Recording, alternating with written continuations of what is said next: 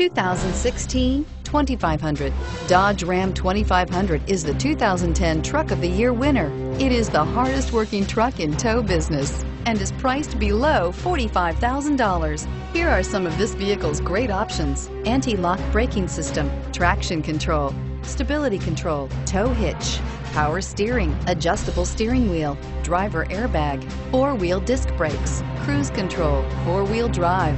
This vehicle offers reliability and good looks at a great price. So come in and take a test drive today.